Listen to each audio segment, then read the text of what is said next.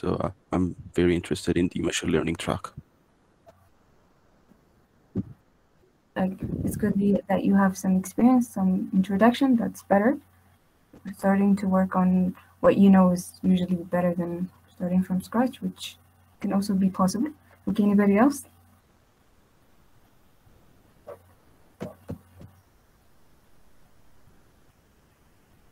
Okay, can, okay, let's just start with describing or defining what machine learning is and which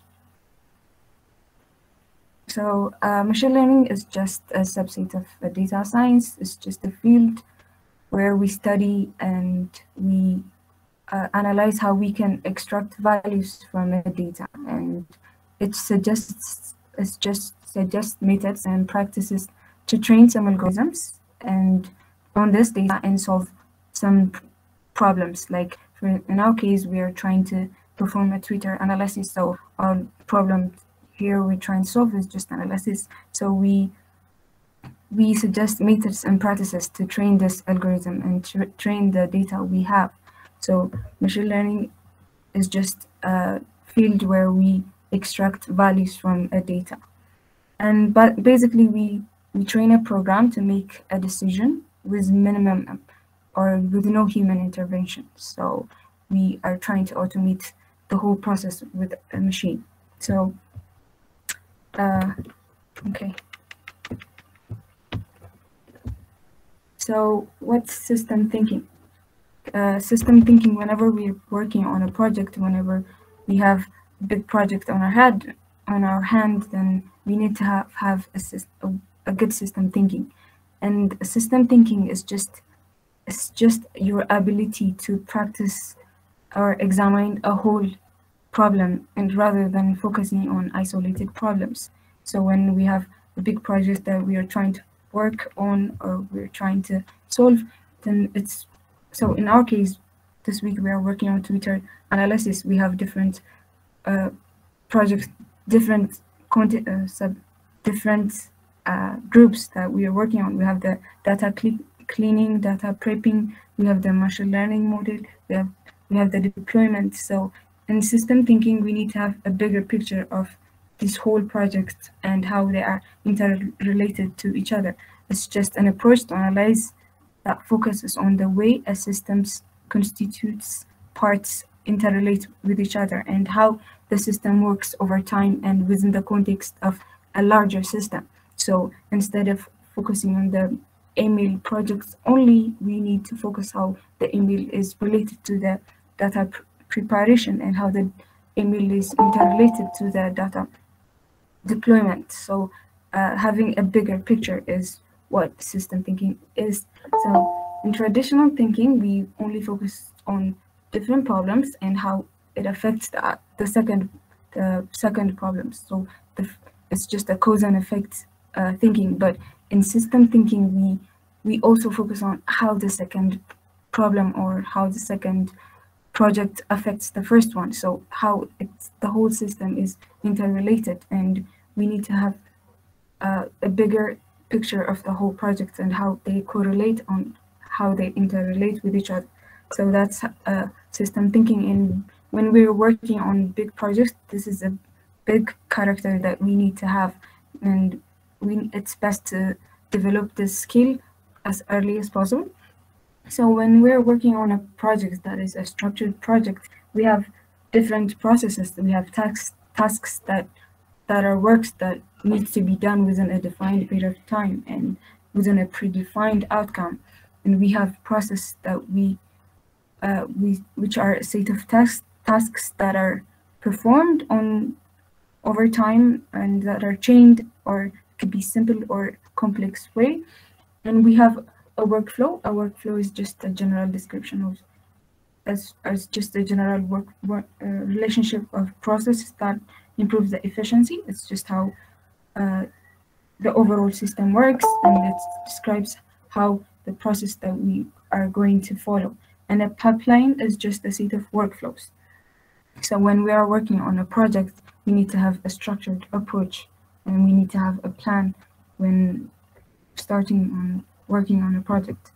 So, um, like I said, workflow is just a breakdown or of processes that are continuous processes into suitable into manageable categories. So breaking down big projects into a small piece of projects that we can manage and categorizing this into that uh, into uh, easily manageable and automatable tasks and such tasks overall need to be done to achieve the desired objectives so a workflow can can be done to achieve or to make our project easily automated and to have it to make it easily manageable. So when we're working in teams, then we usually need to have easily easy easy management between teams and easy easy communication between teams. So when our projects need to be easily scalable and it needs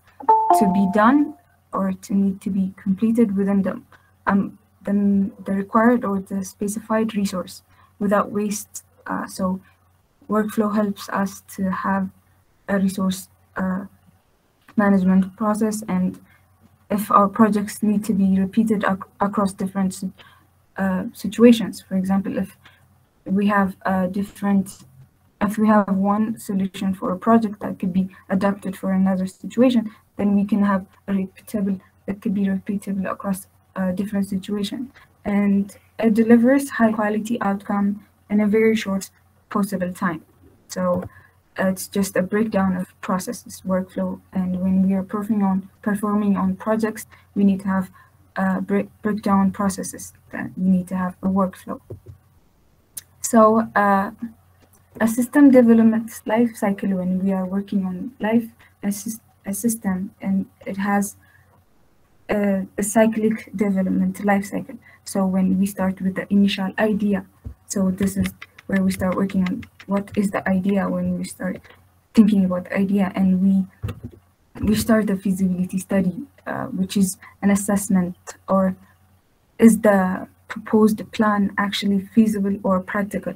So we perform the feasibility study and see that if the project plan is actually uh, attainable or performable or yeah and then we perform the requirement analysis. It's just, this is a process where we determine what are the expectations or what are the requirements for a project and and then we start the system analysis. This is what this is the what the system needs to have and before having this the before starting the development or the design stage we des design and specify the specification or the requirements needed. And we start the design and development. So after having a development and working on the specification we start the design and implementation. So after testing and implementing our developed uh, developed system we we perform a maintain maintenance so we need to have a clear and uh, effective a system that is easily maintainable and easily maintainable across every platform. So after all this uh, cycle or this state is done, we need to review is the system actually as we initially initiated or is, does it meet the idea? So it's a it's a cyclic process that we start we go back to the idea and see that if our project actually meets the our initial idea. And in structured development, so in software development lifecycle, is just an application of standard business practices to build a software application. So it has different phases. Like I said, we have a planning stage, we have the implement design, implementation, and testing, deployment, and maintenance. And usually when we're working on a project, we tend to leave out some steps and we usually have issues whenever we're trying to deploy or when we are trying to maintain. So when we are working on projects, projects, it's best practice to follow each step. So it helps us avoid inconvenience or problems whenever we're getting ahead or when we are progressing in a project. So it's typically divided into six to eight steps depending on your project but the main uh, steps are the planning, requirements design, and the implementation or building the project, and then testing and deploying or maintenance, and also documentation or uh, creating a review, a review process. So this is the basic software development lifecycle. And whenever we have uh, this software development lifecycle, each development cycle needs to have a control layer. So to to have to have to see if it meets the objective and see the capacity or and or and or monitor the progress, we need to have a control objective. So each step should have a control objective or should have a set of instructions that we need to taste on. So, um, so what are structured operations? So, uh, when we are working on in teams, uh, usually in a big project or even in a small organization, we have different teams that we are work on. We work with and operation teams are just they are infra infrastructure and process owners of the organization.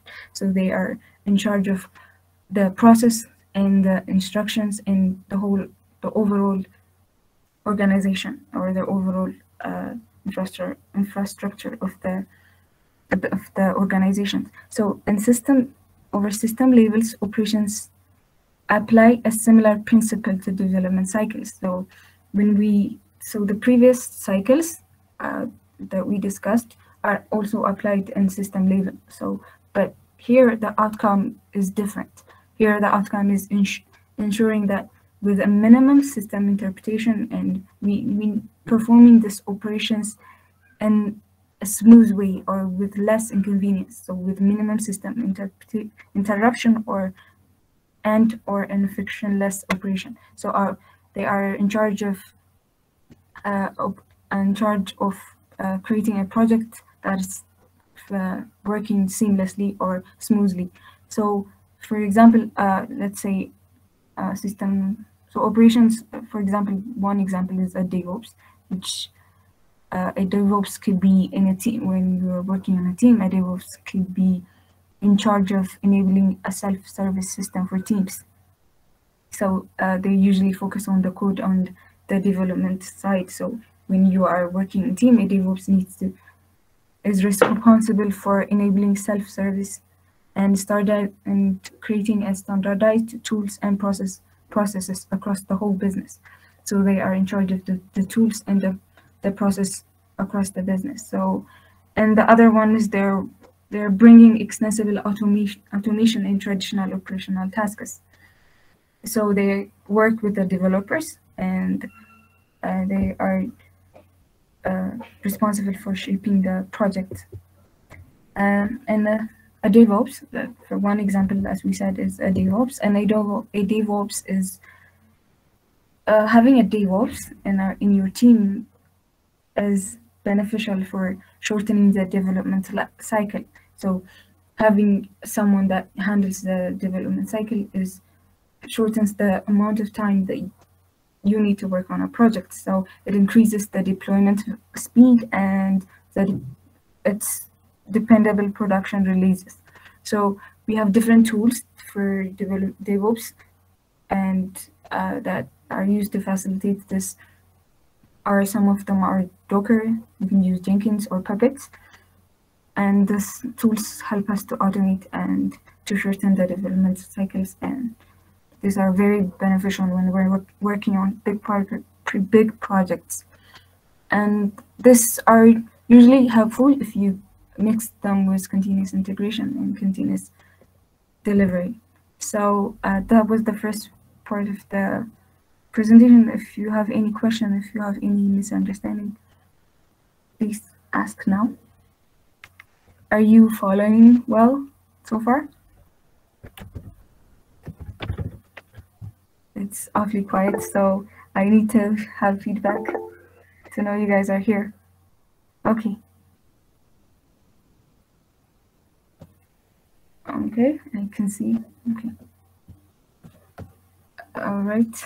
So, so okay, I'm just gonna ask you a question. So, we talked about uh, So we talked about DevOps and let's see how if you guys know the difference between DevOps and MLOps. Does anybody here have any idea what the difference is? Maybe you can drop it in the chat box.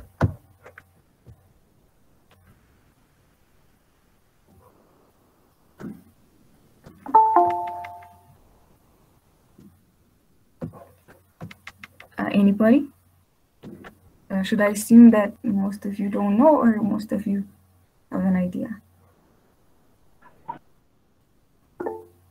Okay, Abnet, go ahead.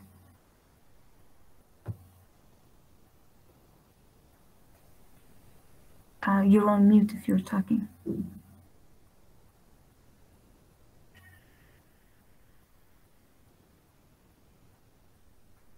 Uh, Ajat, you can continue. Okay, I can see that some of you don't know, and it's okay, we can talk about it.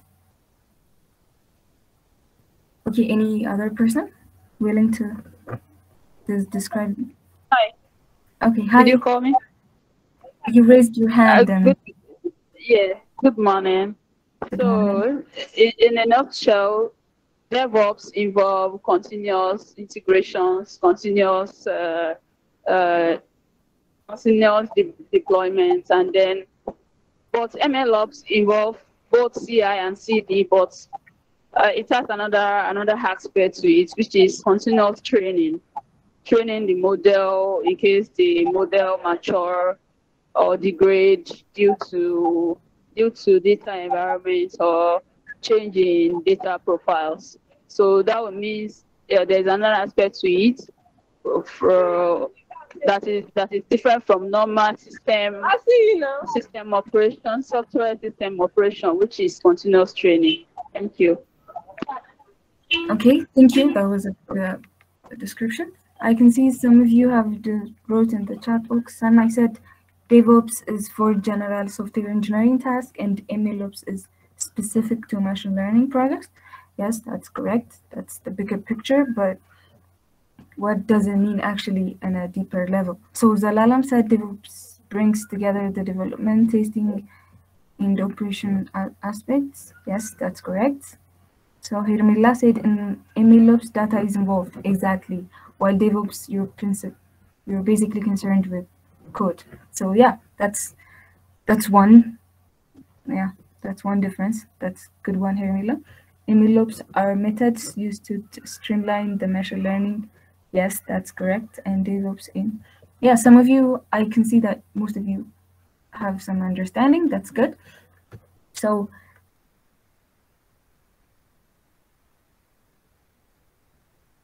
Uh, in DevOps, we are mainly concerned in on the code, and we are concerned on automating the code. In, in DevOps, I'm sorry, but in MLOps, we are, the code is also there, and we also have a model, and we also have the data.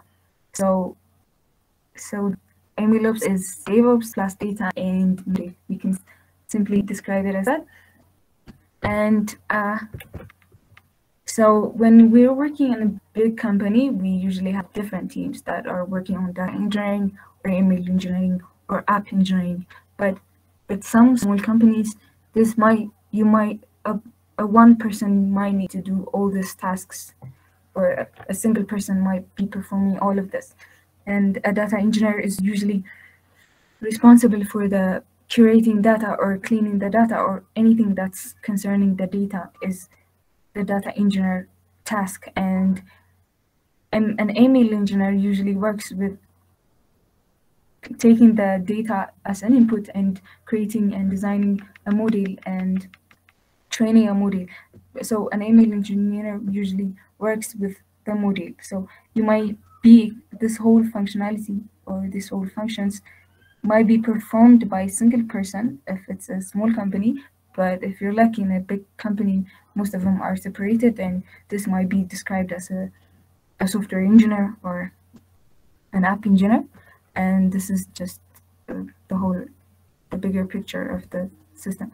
So in MLOps, it's it's just a DevOps applied to machine learning, like we said.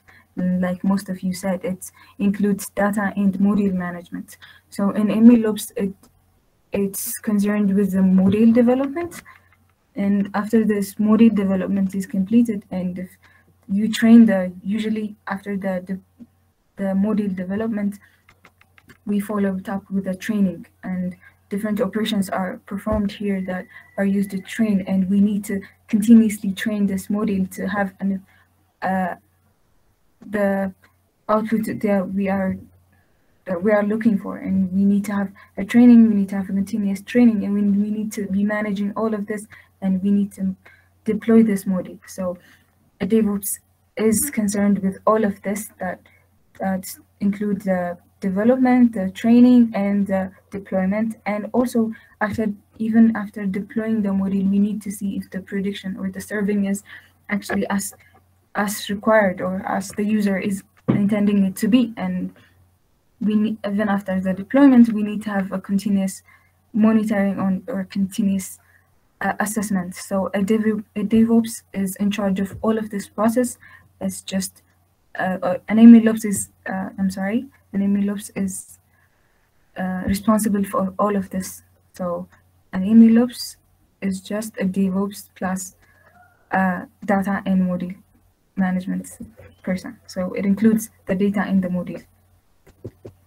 So uh, when working on machine learning projects, mm, we usually focus on the code. Uh, we think that um, it's just a code and it's just, these are the, the whole uh, component of an MLOps is it includes all of these components and, and writing code is just a simple and some some part of the component. We have uh, testing and debugging, we have the model analysis, we have monitoring even after the deployment, and when we're training, we have feature engineering, and we have to also work on the data and data collection, data verification. So an ML code is just some part of or one component of the the whole system.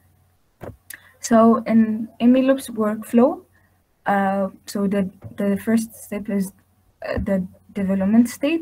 So here we have uh, different data and models. So the management and we start with the model development. So if here we have different type of codes and we have different configurations and we work on the modeling and creating uh, that is suited for the business plan. And we, after the development of the model, we train this. And this is the training operation that we need to, to better the model. So we have continuous training. We have the training pipeline here. We need to perform continuous training with the data and with model, having different data. We use different data for training and for testing or developing the model.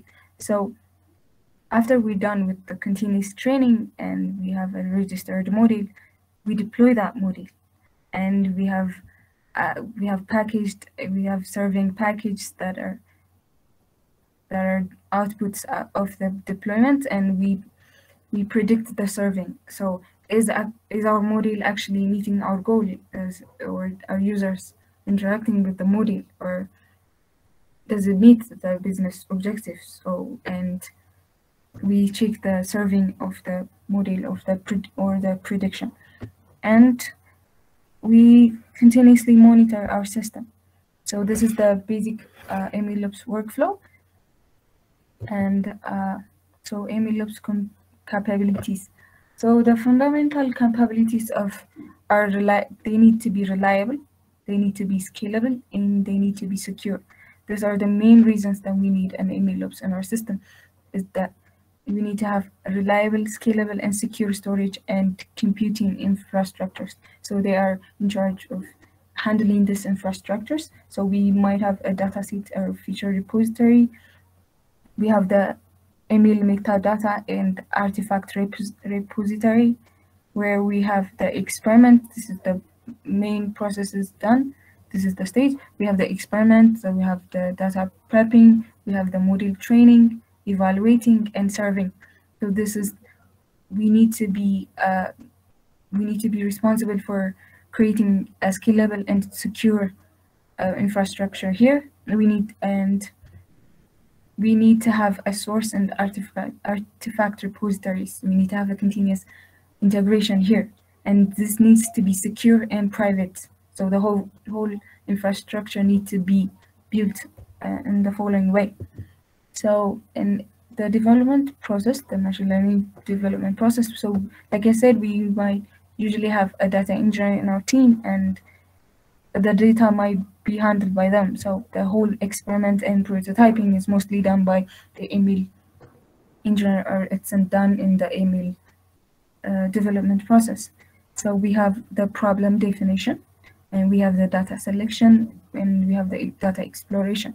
So after we have all this, we have to have feature engineering and we need to have a model prototype. And after that, we train and our model and we validate our model. So we might have a registry or we might have a data lakehouse or we might have different parameters or metrics and notations. So we need to have, we might have different repositories that we are we are uh, interacting with the with our model with our trained model. And the so this is the so in our training and pipeline delivery workflow, we have uh, we build our project, we need to have a continuous integration here in the building and integration or in the testing process. And after the process of the building and the testing, we need to be performing on the deployment and uh, the validation or the acceptance testing and uh, deploy it to the production. So, uh, and after the deployment, we need to have a production deployment.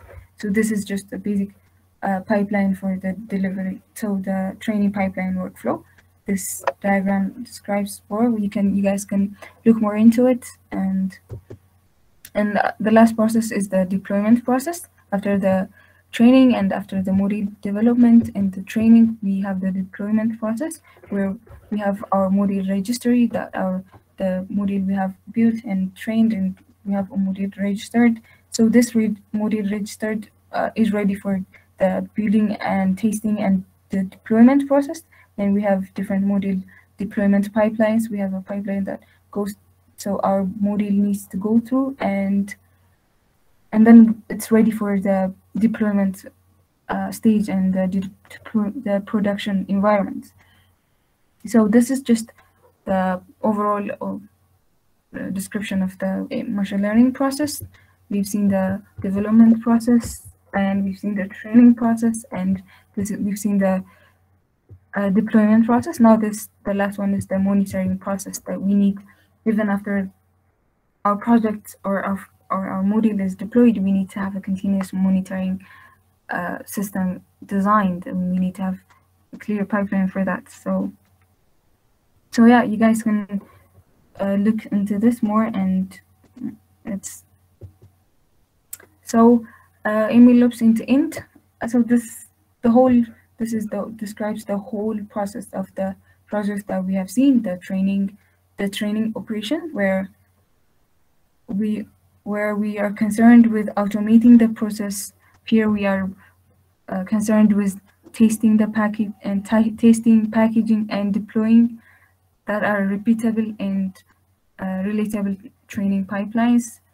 We have continuous training that concerned concerns repeatedly on executing the training pipelines and in response to, in response to a new data. So, if we have a new data or if we have a new change of code or we have a new change of business idea that we need to we need to reiterate or we are responsible for that. So so after that we have the model deployment where we are concerned in packaging, testing and deploying the model to serve to serving environment for online experimentation. So here users might be introduced to engage the, with the with our system or with a production serving. So then the the next one is the production serving. It's the, here it's all about serving the model that is deployed in production for reference. And we have continuous monitoring and we have data in model management for this served and the served model. So yeah, uh, this is we have different I have we have attached different reference here where you guys can check more into that and have a bigger picture and more detailed understanding of the the topics that I've discussed here. This is just to get you guys going, to give you introduction if you if this is the first time you are introduced to these top topics or concepts. So yeah, uh, make sure to have a look at these references here. They are a good resource. It's good if you're trying to get more no, no, knowledge or understanding of this project. So yeah, that's the that's uh, my presentation for now. If you have any question or any suggestion, please go ahead.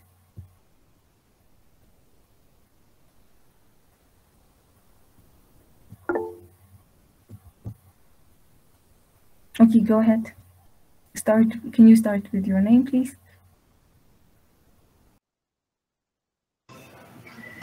Yeah, thank you. Uh, you are here, you are here, me? Hello? Yes, can you start with your name? Yeah, my name is Albert. I'm from Rwanda. Uh, my name is, uh, the problem I have is, I have the problem about of system thinking. So uh, I think that the system thinking is uh, important in every day in software development, but I, I don't know why the most of people today still using the monolithic in uh, system thinking architecture. I don't know why. Are you saying you don't uh, think system thinking is useful anymore? Is that what you're saying? No, I'm saying uh, the system thinking, the most of people from uh, today, they're still using the monolithic, monolithic one server dealing with multiple requests in the, in the system thinking. I don't know why they chose for those methods for to design a system thinking. Okay, I'm not sure if I heard you well, but uh, actually most companies are using system thinking, so it's applied in most industries and different areas of uh, different areas of profession. So it's actually well adapted and well known uh, approach. So and most it's applied almost everywhere. So, so the other or the traditional way is being is not being used as much these days. Most people are using this system thinking in their project. So yeah, if that was your question. Yeah.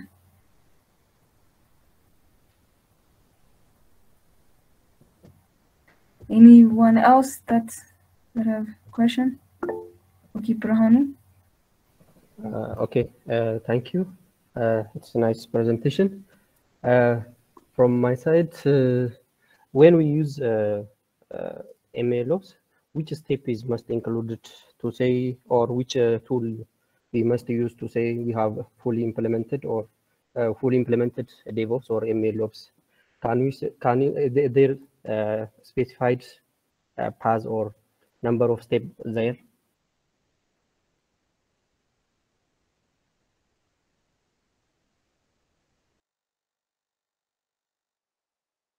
Sorry, I was on mute.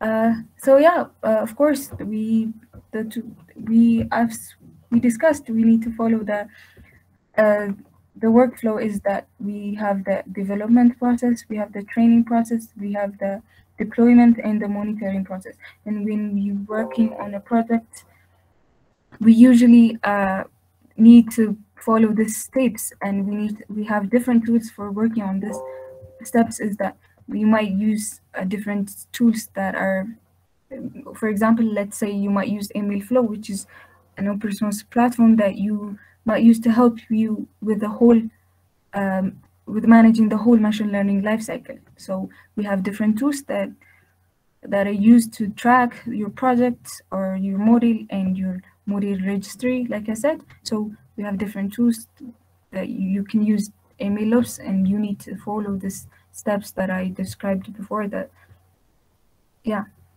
So the best practice is to follow the workflow. So the development, the training and the continuous training, the deployment and the prediction and the monitoring. So when you are working with on a model, a machine learning model, it's best practice if you follow the steps and you use the right tools. For example, the best tool that I have found to be useful is the MLflow. So you can use that tool and you can follow the workflow to automate or to manage to to work on you. Yeah. Does that answer your question? Yeah, that's great. Thank you. Okay. Mm, I think you have another question in the chat. Okay, no. Okay. Okay, Gannet, go ahead. Okay, uh, thank you so much for your nice presentations.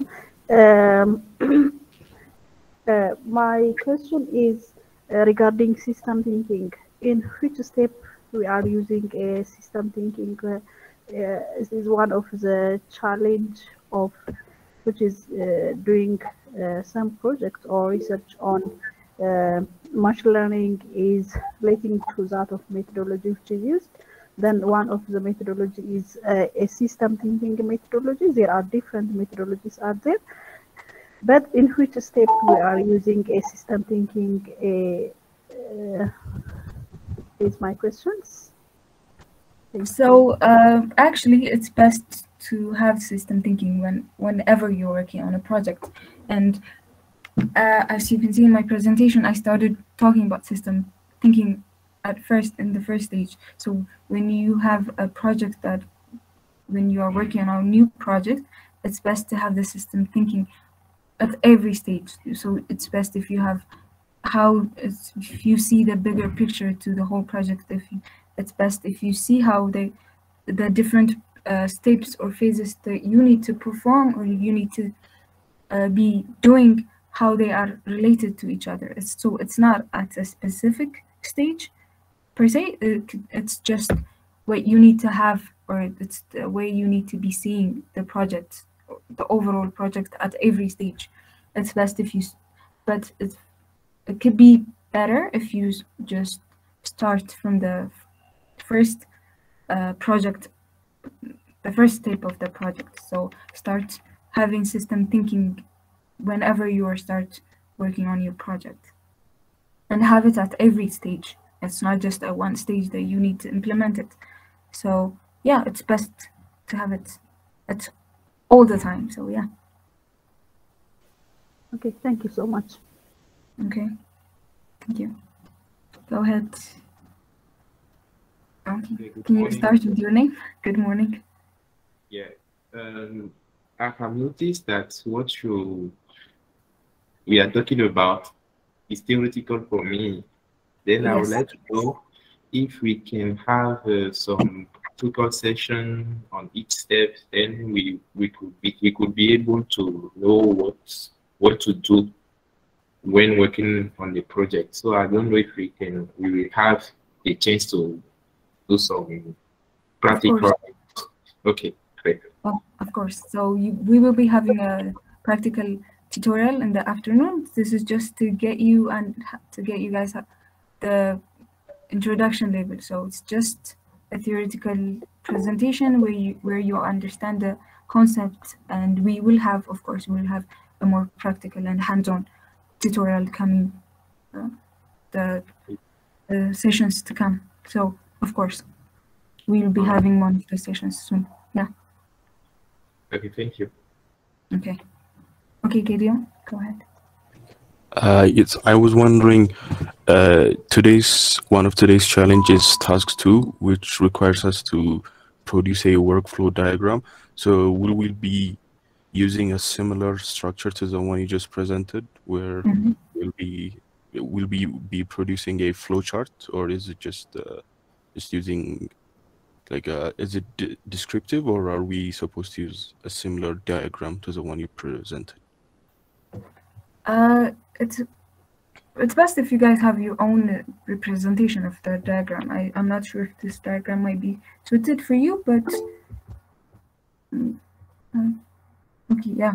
But you can so you can customize it for your own uh, project. For this case, for the Twitter analysis, I'm not sure if this workflow diagram is actually what you need. So you actually need to work on that.